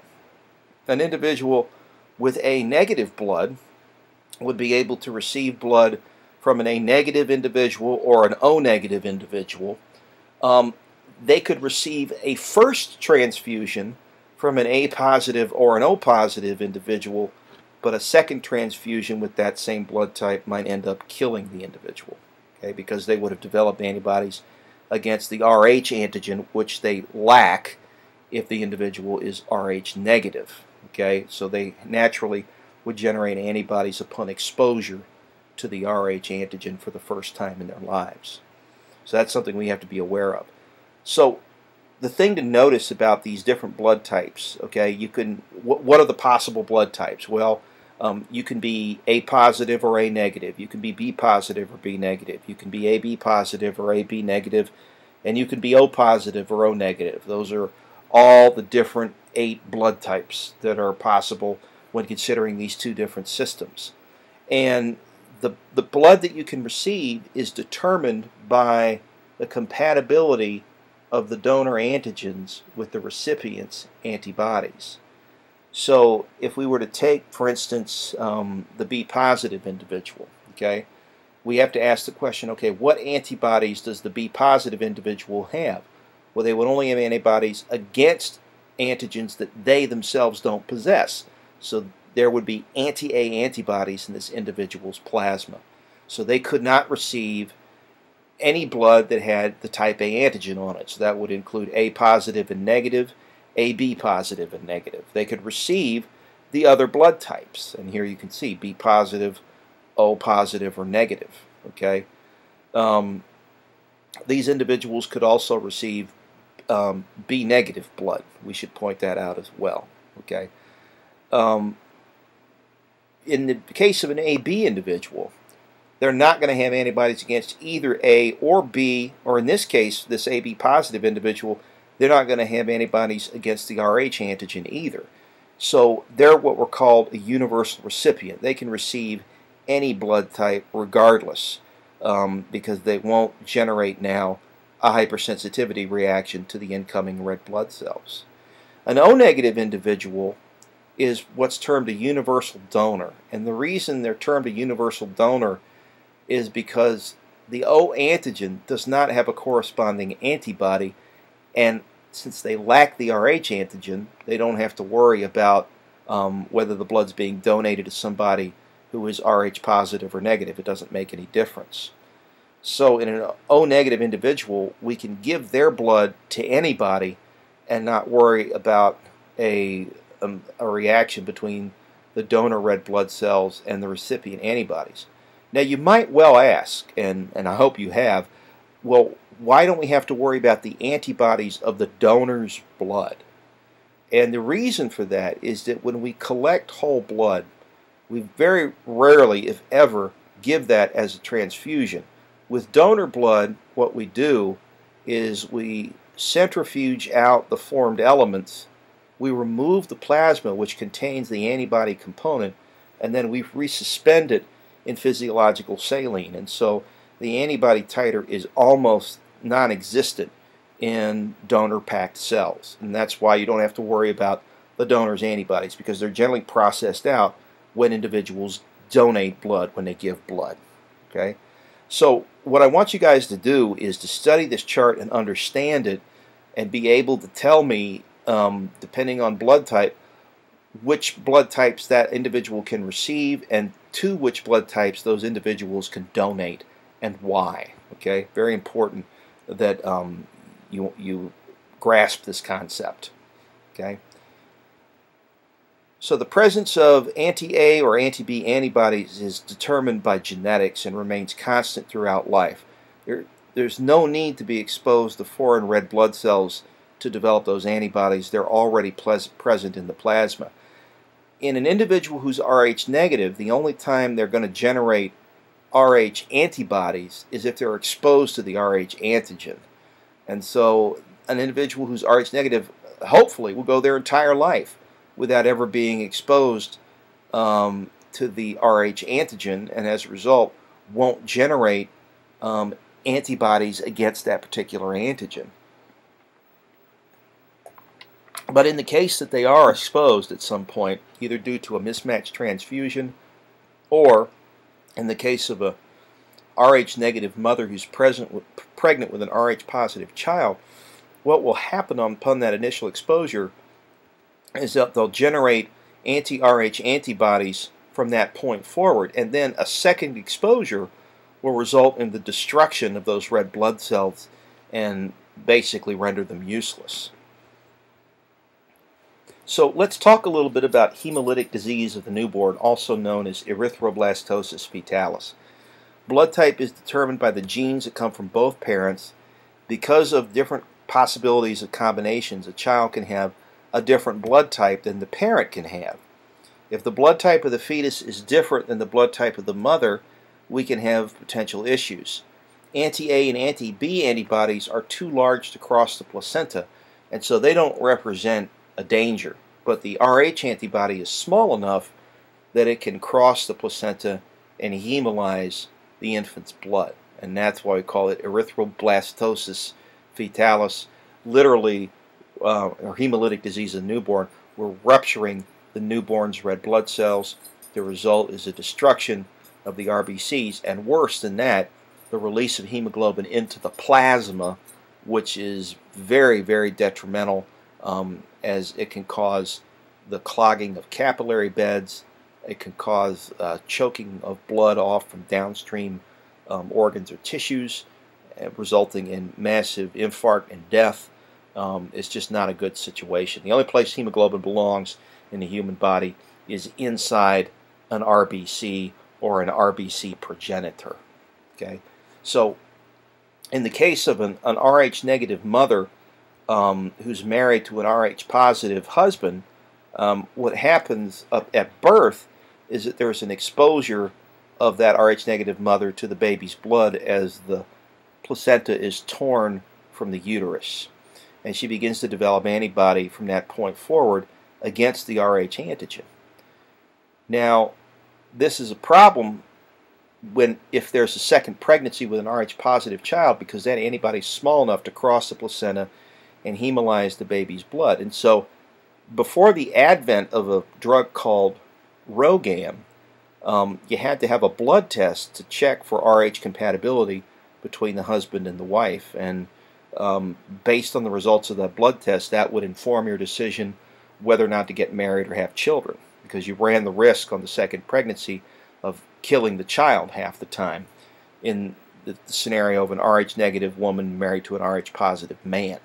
Okay, so this condition is caused when maternal antibodies cross the placenta and attack the fetal red cells. It has a lot of forms and different uh, presents with different severity.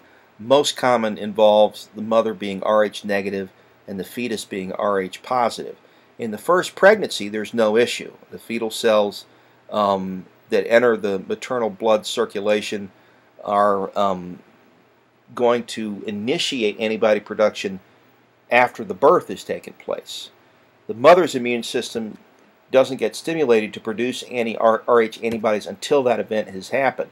At birth, the bleeding uh, at the placenta and the uterus allow the fetal and maternal blood to mix.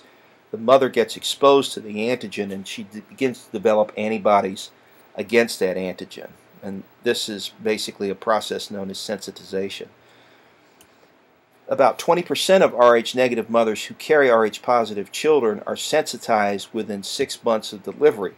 The first infant isn't affected because the antibodies have yet to develop, but subsequent pregnancy puts the infant in danger. The maternal anti-Rh antibodies can cross the placenta if she's been sensitized and get into the fetal blood, destroy the red blood cells causing anemia, anemia in the fetus, and can drop the red count um, of uh, red blood cells from the bone marrow um, prior to the baby's birth. And this is the basis for the name erythroblastosis fetalis. It has a high fatality rate if we do not treat it. The newborn becomes anemic and jaundiced because of high bilirubin concentration in the tissues. Um, remember that bilirubin is a breakdown product of heme. Um, individuals who appear jaundiced tend to have a yellow cast to their skin and to their eyes. The maternal antibodies remain active two months after delivery and may require replacement of the infant's entire blood volume. So we have to do a complete transfusion. Hemolytic disease of the newborn is prevented by giving the mother anti-Rh antibodies in a medication known as RhoGAM, given in weeks 26 to 28 of the pregnancy and during and after delivery. And what it does is it hides the antigen from exposure to the immune system. These antibodies destroy fetal red cells that have crossed the placenta um, before they stimulate a maternal immune response and results now in no maternal sensitization. Okay, so basically we, we don't allow the mother's immune system to see the red cells because we nuke them before they ever get a chance to result in an exposure. And so as a result of this, she can have as many Rh positive children as she wants without risk of hemolyzing the newborn's blood. And so this is just a diagram showing you the events of the first and second pregnancy and how they relate to hemolytic disease of the newborn. Okay, so very important that you understand this. Now, another important thing to point out with this this disease is the fact that the placenta is like a semi-permeable barrier, and it'll let molecules below a certain size cross from the mother's blood into the baby's blood, and this can have dramatic effects on the baby's development. In the case of hemolytic disease of the newborn, it results in hemolysis and destruction of red cells, which can potentially kill the child. Um, but it also goes for other components that can end up in the blood, such as alcohol or recreational or prescription drugs, or in the case of certain pathogens that are small enough to cross, such as viruses, we can end up having those components get into um, the fetal blood and severely affect development, uh, potentially um, either produce birth defects or, in some cases, uh, result in a spontaneous abortion, uh, killing the child in some cases. All right, so we tell mothers, especially during the first trimester, when we're building things like the musculoskeletal and the cardiopulmonary system and the nervous system, to stay away from alcohol and recreational drugs and individuals who have contagious diseases because you're putting your baby at severe risk. Okay, because all of those things can cross. They all have the potential to be tiny enough to get across the placenta and into the baby's bloodstream. Okay, let's talk a little bit about white cells now. Um, they spend only a short time in circulation. They're mostly found in loose and dense connective tissue where infections occur and can migrate in and out of the bloodstream as a result of response to certain chemical cues. They can contact and adhere to the vessel walls near an infection site and squeeze between adjacent endothelial cells through a process called diapedesis, and this allows them then to gain proximity to the area of the infection or the injury. They're attracted to chemical stimuli through positive chemotaxis. This is a very interesting property of cells that allows them to move towards a particular diffusible component in a solution.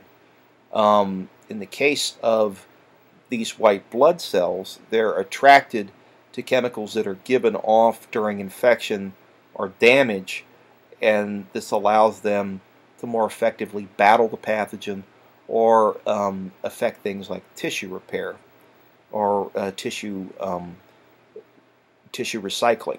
Okay, breakdown of dead tissue, useless tissue, and eventually setting the stage for other cells to come in and generate now um, new tissue underneath where the injury or the infection occurred. Okay, this is probably one of the first characteristics that evolved in living cells was the ability to move towards chemicals that would enhance their survival and away from chemicals that would kill them. The idea being that they might be attracted to things like food and they might be repelled um, by things like toxins. And so if you were able to express this characteristic early on in your development, you're more likely to survive and evolve. Whereas if you lack this ability, then it's extremely likely that you could end up um, dying before you ever got a chance to reproduce. This phenomenon guides white cells to pathogens to damaged tissues and other active white cells. Neutrophils, eosinophils, and monocytes are all capable of phagocytosis as well as diapedesis.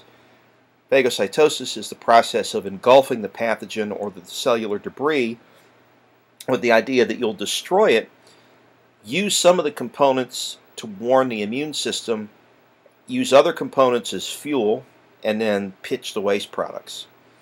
Macrophages are monocytes that have moved out of the bloodstream and are actively engulfing pathogen and facilitating the immune response by presenting foreign antigens to the lymphocytes that are nearby. Okay, a normal individual can, has about 7,000 white cells per microliter of blood. The number can be increased in response to infection, inflammation, or allergy. A differential count indicates the number of each type of white cell in the sample, and it's usually reported as a percentage per 100 white cells.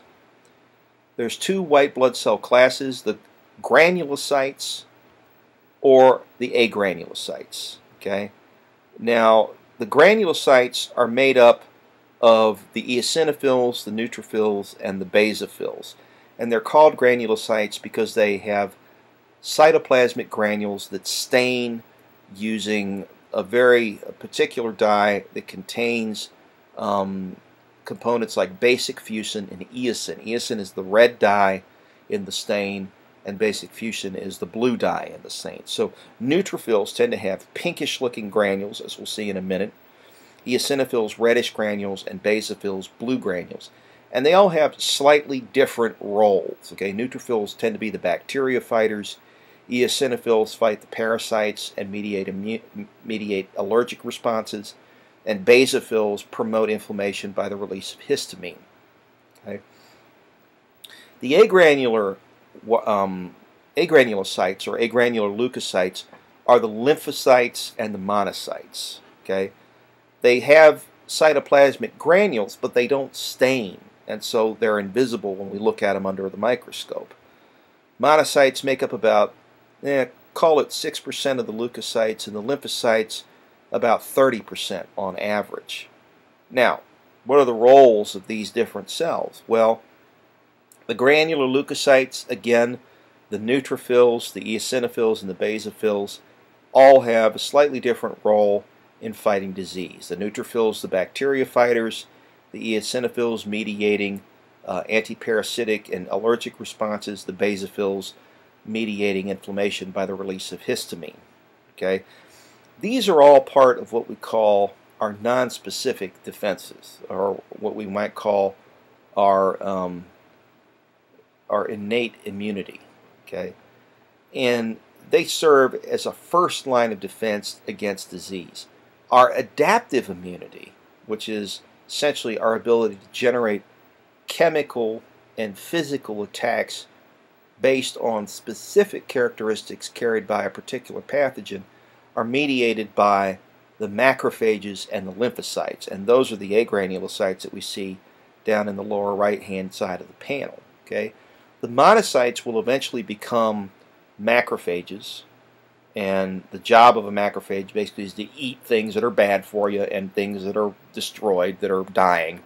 Okay, and in the case of pathogens or infected cells, present the foreign antigens as a warning to the immune system that you have an infection. Okay, the lymphocytes which come in two broad classes, the B lymphocytes, which mature in the bone marrow, and the T lymphocytes, which mature in the thymus, which is an organ behind the sternum and in front of the heart. They are responsible for the specific physical and chemical attack on the pathogen that ultimately renders it uh, useless. Um, the B lymphocytes produce molecules called antibodies that bind to infected cells or to pathogens and mark them for destruction. And the T lymphocytes come in three flavors the regulatory Ts, the helper Ts, and the cytotoxic Ts. The cytotoxic Ts actually show up where infected tissue is located and destroy it using chemical attacks that either perforate the membrane or that cause the cell to commit suicide. Okay, um, the helper T cells stimulate the production of particular um, B and T cells designed to fight that strain of pathogen. Okay, so it picks out those lymphocytes that are going to be best at destroying your particular infection, and it sends out chemical signals that magnify their numbers. Okay, and then the regulatory Ts, which will turn off the entire process once it's concluded. And so what you've got here is a chart showing you um, what each of these cells looks like, um, their average number per microliter, what they appear like on a blood smear, what their job is, and some other remarks. So what I want you to do is to go through this uh, chart in your book. Um, this is uh, figure 17.9. Uh, and know this material. This is very important because what I'll do on exams and quizzes is I'll show you pictures of these and I'll ask you questions about their different roles and you'll want to be able to describe them and draw them in some cases or at least recognize them in a figure. These are the agranulocytes, again with the same bits of information um, traced out here in the chart. Okay, the next topic we want to address is hemostasis. And hemostasis is simply a series of processes that results in the halting of blood loss through damaged vessels like lacerations or punctures. It establishes also a framework for tissue repair and it's split into three phases, but it's actually a cascade of events that consists of a vascular, a platelet, and a coagulation phase. Okay. Okay. Now, the vascular phase of hemostasis lasts about a half hour post injury. The endothelial cells will contract in response to the injury and expose the basement membrane to the bloodstream.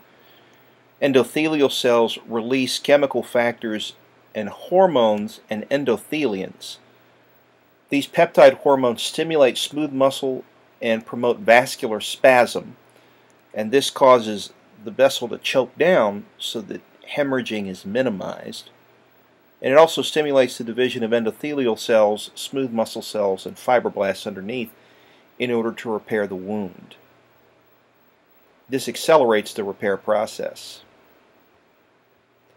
The endothelial plasma membranes become sticky and the attachment of cells on either side of the tear in the vessel helps to partially seal it off.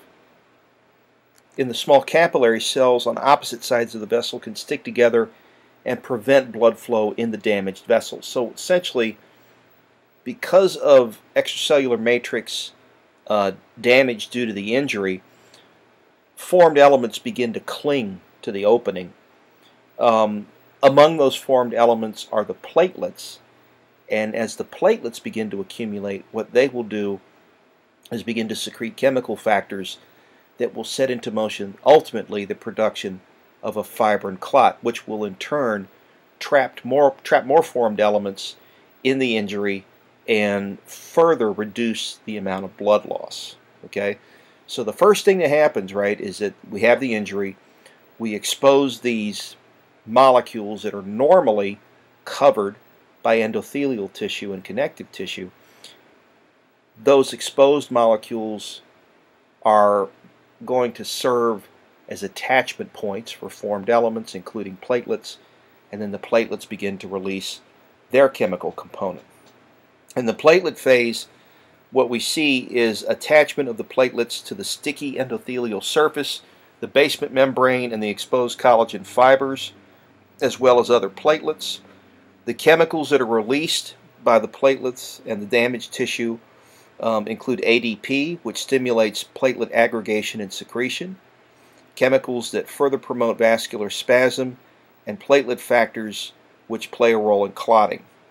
PDGF, platelet derived growth factor, is going to promote vessel repair underneath the injury so that once the platelet plug and the clot are removed, we have new tissue underneath and further hemorrhaging is ended. Calcium ions are also secreted. They're required both for platelet aggregation, but they also promote the blood clotting process. So all of these are essentially the result of these platelets sticking and releasing their contents. Okay, you could think of them in a sense as bags of clotting factors, okay, which will tilt the plasma proteins that are already going to contribute to coagulation to producing now the fibrin clot that will ultimately plug this hole a more, on a more permanent basis while tissue repair is affected. This is just a look at the chemical process of coagulation, so take a listen.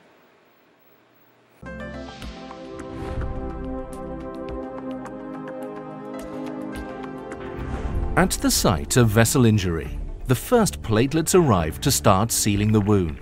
Simultaneously, the coagulation cascade with its various coagulation factors is activated. This involves two pathways, the extrinsic and the intrinsic pathway. Extrinsic activation begins with now exposed molecules of the vessel wall, such as tissue factor, which forms a complex with factor 7 finally leading to the activation of factor 10. This factor 10A is the point at which the extrinsic and the intrinsic pathways of the coagulation cascade meet. The intrinsic pathway consists of various coagulation factors activating each other in a chain reaction. At its end, a complex with an additional cofactor is formed. This complex now activates factor 10. Since the two pathways merge at the level of factor 10A, this factor has a pivotal role in the coagulation cascade. Further down the cascade, factor 10A in combination with 5A activates thrombin and induces the so-called thrombin burst. One molecule of factor 10A can catalyze the formation of a thousand molecules of thrombin. These large amounts of thrombin cause the further activation of platelets and the enhanced formation of fibrin. Fibrin then forms strands, making up the mesh that stabilizes the platelet plug in an arterial clot and holds together the red blood cells in a venous clot. It can be concluded that the central role of factor 10A in the coagulation cascade makes it a viable target for therapeutic intervention in pathologically altered blood coagulation.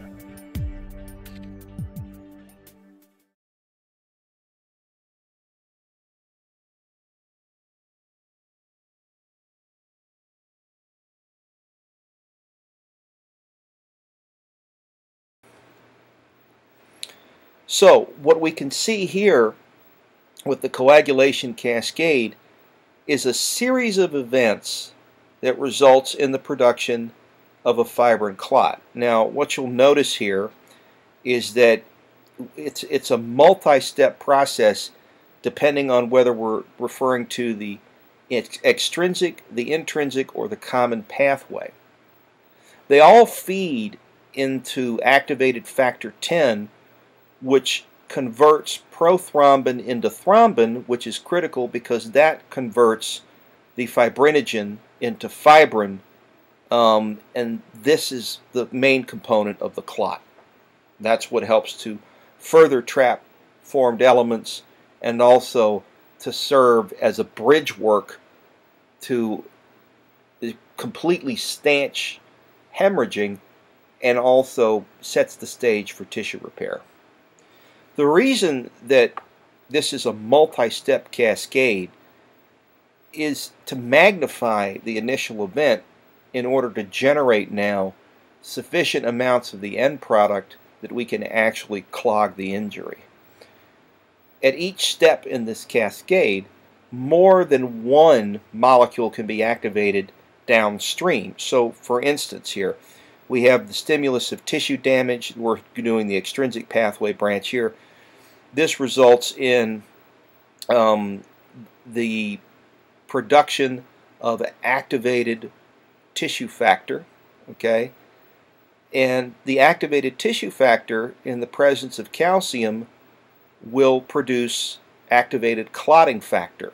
But keep in mind that the activated tissue factor can activate more than one inactivated clotting factor, which in turn can activate more than one um, other downstream tissue factor.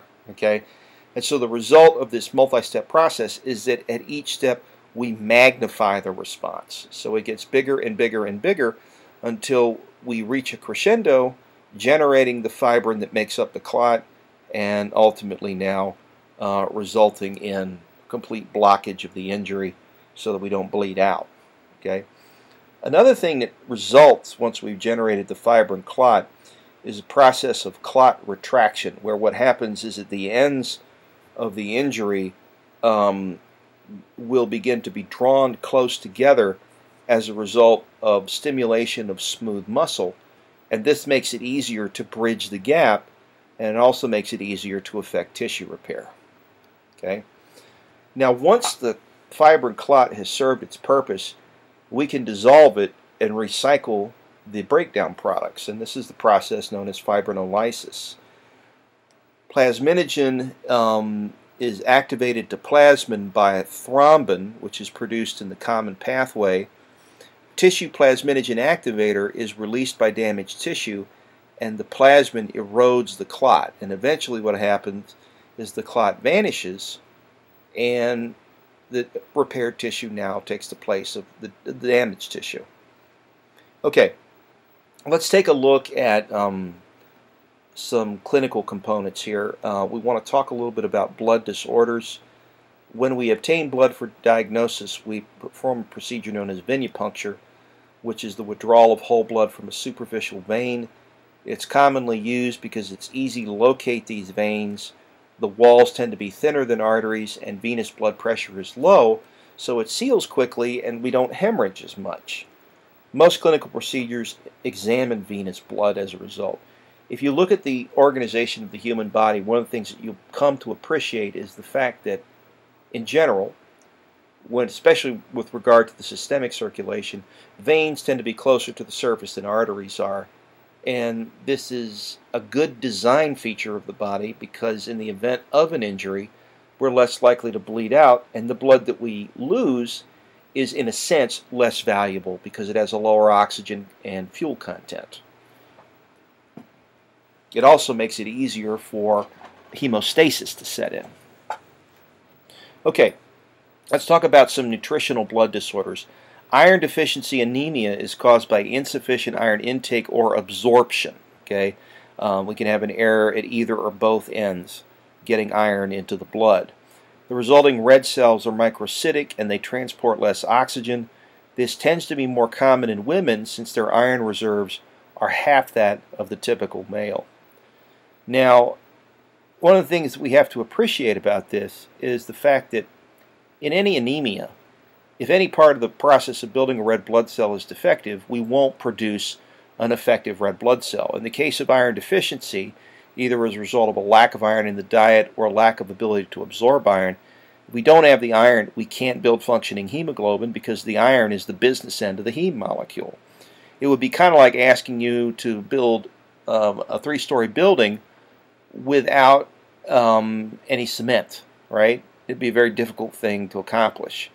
You might have all the other building materials, but without cement, you can't do anything. Pernicious anemia is a deficiency of B12 that prevents normal stem cell division in red bone marrow. B12 is critical for the manufacture of DNA. Fewer red cells are produced and the resulting red cells are misshapen and macrocytic. This can result from a lack of intrinsic factor in the lining of the stomach, which is important for the transport of B vitamins into the blood. The protein which is secreted in the stomach is required for B12 absorption people that lack this, that have pernicious anemia, generally have to get their B12 through uh, an intravenous injection. Clotting disorder, disorders can be caused by a lack of any of the clotting factors in the clotting cascade or by insufficient calcium or vitamin K. Calcium is required for all the clotting pathways, and vitamin K is important uh, because the liver needs it to synthesize the clotting factors that facilitate the production of the clot. Okay, um, all of the factors which are made by the liver, including prothrombin, rely on the presence of vitamin K for this to work. Sickle cell anemia is a special type of anemia in which defective hemoglobin results in an impaired ability to carry oxygen in the body.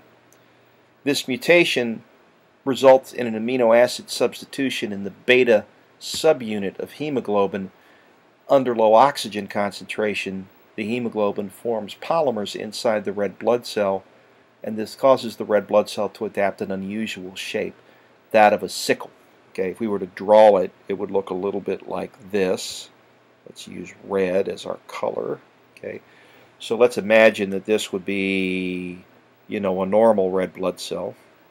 Okay, under low oxygen concentration, and a sickled red blood cell would look something like this. The reason it's called sickled is because there's a farm implement called a sickle that used to be used to harvest wheat. Okay, if you've ever seen a picture of the Grim Reaper, his sickle is the instrument he uses to harvest souls. Okay, so this would be an example of a sickled red blood cell, sickled RBC. Okay. This causes the red blood cell to become more fragile. The sickled shape catches on capillary walls and blocks blood flow, and this results now in a crisis. Okay, you can see more clearly here the sickled and the normal RBCs. Individuals with the disorder must have two copies of the sickling gene. Those that have only one copy will have what we call sickling trait, but will not have full-blown sickle cell anemia. And they'll also have an increased resistance to a parasitic disease called malaria.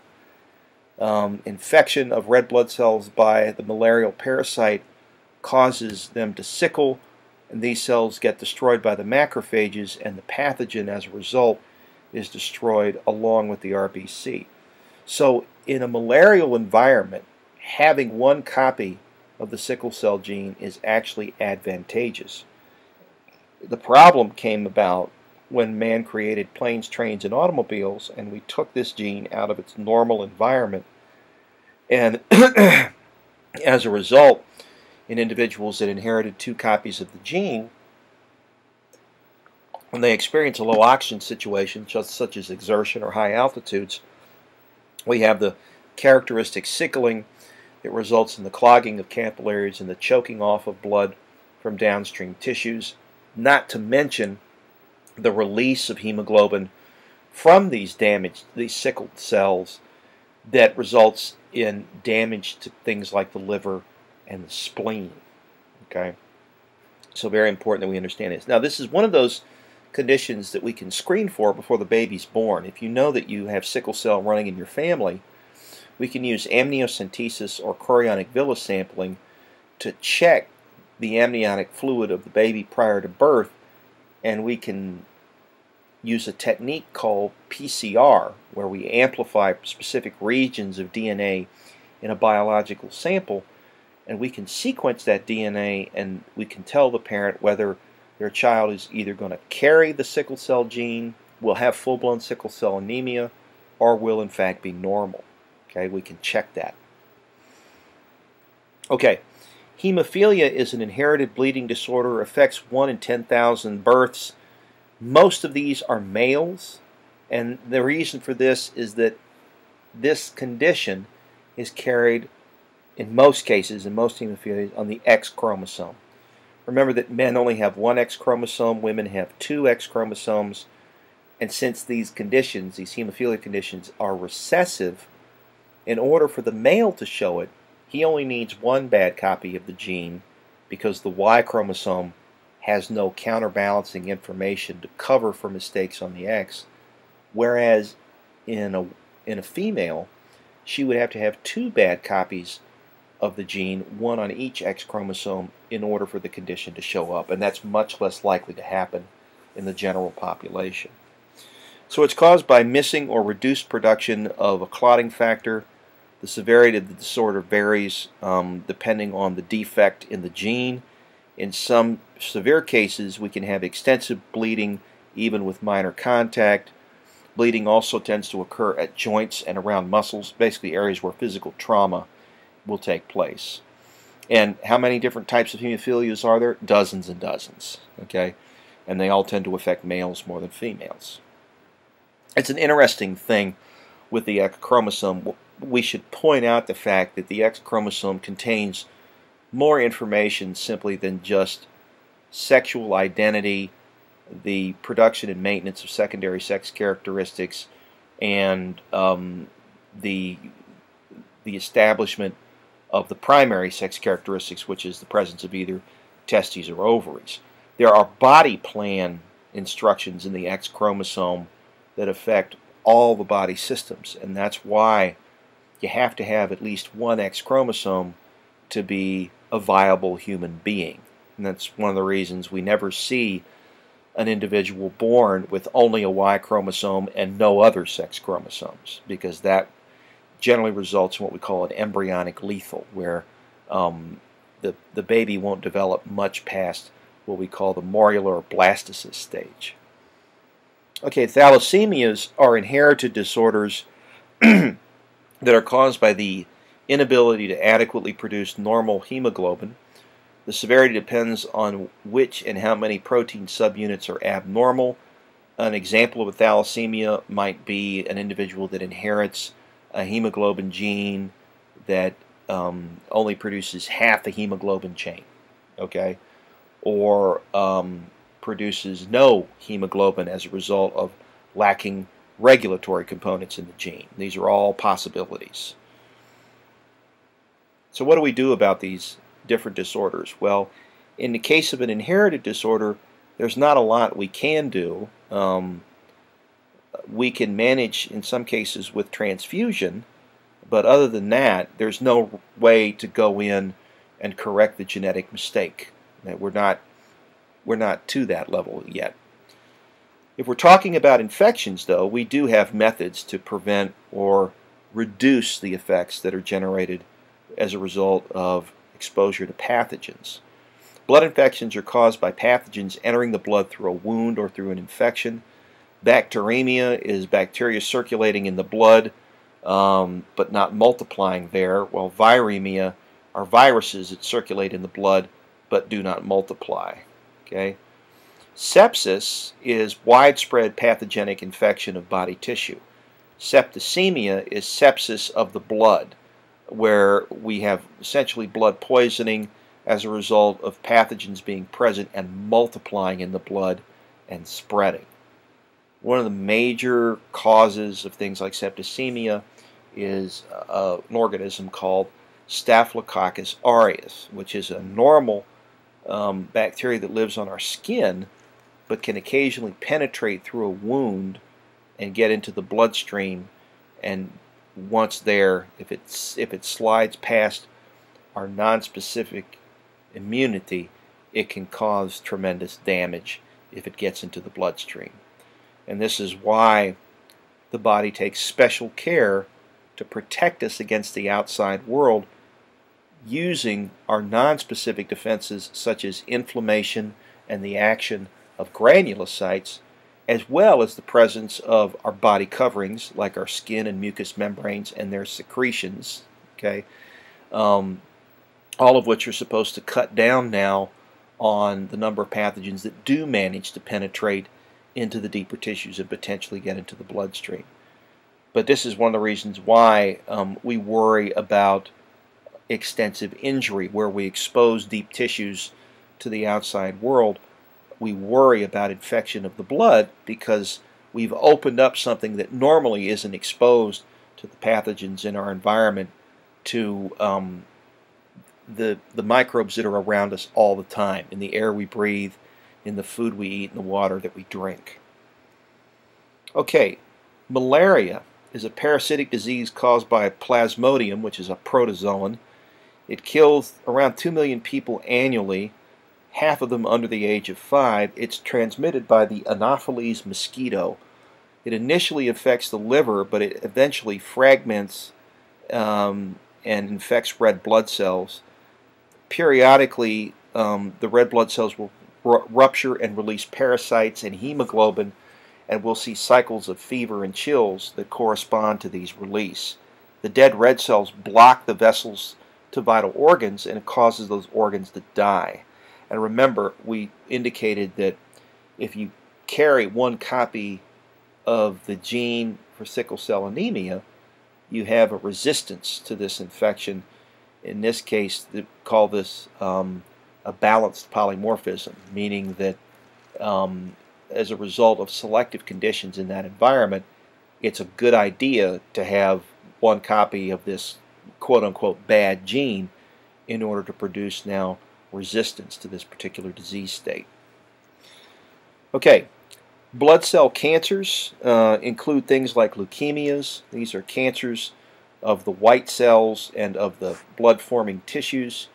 The cancerous cells spread throughout the body from their origin in marrow. The first symptoms appear with the presence of immature and abnormal white cells in circulation. It's fatal if untreated. The reason this is a big problem is because the white cells produced in leukemia are not immunocompetent, meaning they have a reduced ability to fight disease, and so the individual ends up being more susceptible to cancer and infection because you're clogging the system with cells that are incapable of producing an immune response. In addition to that, we also have to appreciate the fact that the cancer cell, as all cancer cells will do, will take the lion's share of oxygen and nutrients from functioning tissue, and this will eventually result in cell and tissue death and organ shutdown if untreated.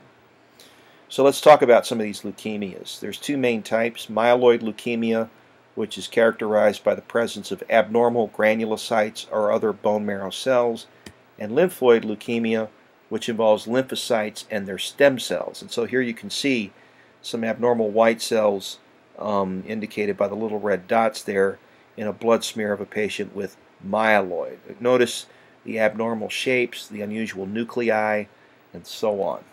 All essentially physical indicators of a lack of immunocompetence. Okay, disseminated intravascular coagulation is the result of bacterial toxins that activate the clotting process all over the body. This converts too much fibrinogen to fibrin and small clots appear in tiny vessels. The phagocytes in the plasmin work to remove the fibrin and the liver works to keep the fibrinogen at adequate levels. The result is often uncontrolled bleeding that can occur because we've essentially removed all the fibrinogen, producing clots that are completely unnecessary. So, in a disease in which we have excessive clotting, oddly enough, it's often characterized by excessive bleeding. And you can appreciate in a sense, if I were to draw an analogy, um, let's say that uh, you were working on a construction crew and um, for some reason um, half the members of your crew thought it was a good idea to um, to cement all the bricks together in a big pile and and not contribute to the structure that you're building okay the result is going to be a, a, a, weakened structure, a weakened building, or a weakened house. And the same thing is happening here with this DIC. You're removing the fibrinogen from its normal role by wasting it, making clots that are unnecessary, and the result then is excessive bleeding. Okay, um, this brings us to the end of our first podcast. Um, there's going to be uh, at least a couple more to follow this term. You are responsible for this material. I want you to um, listen to this podcast and take notes just as if you were attending lecture. You will be tested on this material. It's going to show up in the exams and also in the in-class quizzes. If you have any questions about this material, um, talk to me during lab or during my tutoring time, uh, and we will try and iron out any areas of confusion for you. Um, in addition, you should also appreciate the fact that your homework will address a lot of the content in this chapter as well. Okay, um, it's been a pleasure talking to you, and I'll see everybody in class. Thanks a bunch.